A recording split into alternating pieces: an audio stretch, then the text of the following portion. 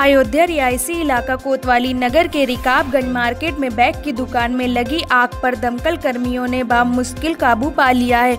दमकल की आठ गाड़ियों ने लगभग दो घंटे की कोशिश के बाद आग पर काबू पाया है। मौके पर IG Sanjeev Gupta, commissioner Manoj Kumar Mishra, SSP Ashish Tiwari भी पहुँचे थे। स्थानीय लोगों ने पुलिस कर्मियों व फायर विभाग के लोगों की आग पर काबू पाने की कोशिशों की तारीफ़ की है। खास बात यह रही कि बैग की दुकान व गोदाम जिस मार्केट में है, वहाँ फायर सेफ्टी का कोई इंतज़ाम नहीं था। एसएसपी आशीष तिवारी ने आग लगने के कारणों की जाँच के आदेश दिए हैं। साथ ही मार्केट में फायर सेफ्टी के इंतज़ाम क्यों नहीं थे, इसकी जाँच के बाद विधिक कार्यवाही की बात कही है।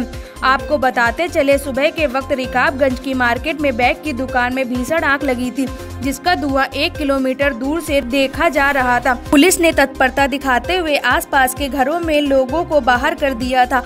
अब हालात सामान्य है, लोग अपने घरों में जा चुके हैं। खास बात यह रही कि बैग की दुकान गोदाम में लाखों का नुकसान हुआ, लेकिन कोई अप्रिय घटना की सूचना नहीं है। ये हमारा अयोध्या में जो चौक बाज़ार है, इसमें अट्टी महारानी का मंदिर है। उसके बगल में एक बैग जो था, उसका शोरूम था, जिसमें प्लास्टिक का बैग और ये जो ट्रैवल बैग्स होते हैं, उसका शोरूम था, गोडाउन था यहाँ पर। उसके अंदर में आग लगी थी। संभवतः शॉर्ट सर्किट से लगी है, अभी चेक कराएँगे इसको।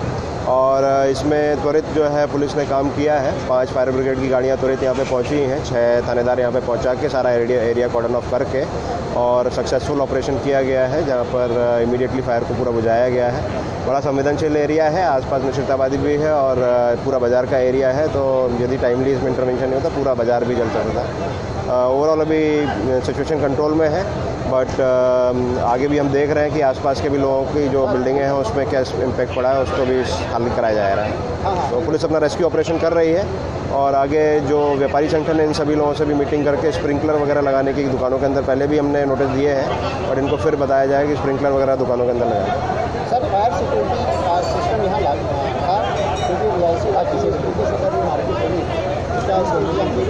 देखिए, इसमें सभी पूरे दुकानदारों को, जैसे ही यहाँ जनपद में मैं आया था तो सभी को नोटिस दिए थे, सभी होटलों को नोटिस वगैरह दिए गए थे और इनके ऊपर मैं बताया भी गया था कि विधिक कार्रवाई की जाएगी, यदि ये लोग फायर सेफ्टी पूरा नहीं रखते हैं।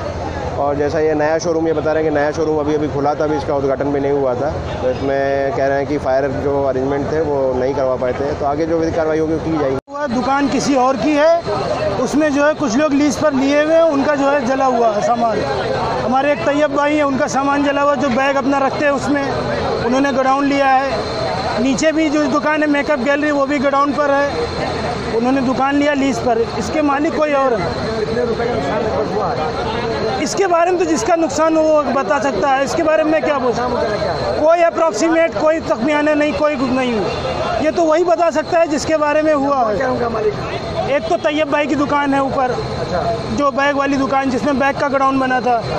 और नीचे वाली दुकान के मालिक यहीं कहीं होंगे वो भी अभी यहाँ पर थे और ज़्यादा नहीं मालिक आग की वजह शॉर्ट सर्किट ही हो सकती है यहाँ पर क्योंकि इससे पहले भी थोड़ा उधर भी शॉर्ट सर्किट से आग लगी थी कुछ दिन पिछले साल या एक साल पहले। क्या नाम आपका तो हमें तो नहीं पता आग कैसे लगी। मैं तुरंत ही आग बुझाने के चक्कर में सामने देखिए अपने समस्त अधिकारियों को मैंने सूचना दिया। और कंट्रोल को सूचना देने के बाद मैं अपने जो भी हमरा यहाँ मौजूद थे, सब लेकर के मैं तुरंत आग बुझाने में लग गया। दरवाज़ा किसी तरीके से खुलवाया फायर टेंडर जब जैसे आ गई, किसी तरीके से, क्योंकि दरवाज़ा इतना हीट हो रहा था, उसे खोला नहीं जा सकता था।